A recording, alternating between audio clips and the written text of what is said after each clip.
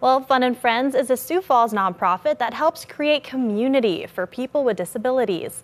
KELOLAND's Jordan Smith joins us to share how they are creating a friendly environment that helps kids build friendships. Good evening, Jordan.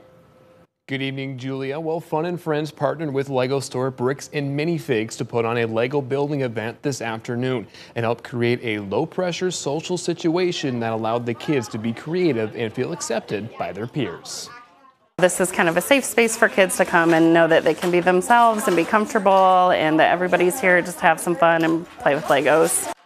So where did the idea behind this nonprofit start? Yeah, it started with two moms who have kids with Down syndrome. They were just looking for spaces where their kids could interact with other kids that were similar to their kids. So that's kind of how that started. And, and with this event in particular, you know, with the Legos, they wanted um, to, to make sure they had a kind of a low pressure situation, right? So I could build my Legos, you could build yours. We don't have to mm-hmm. interact, but sure. you know, yeah. And, and, I found that they these kids really loved interacting with each other. So you'll get a feel for that tonight at 10. All right, thanks, Jordan. Thank.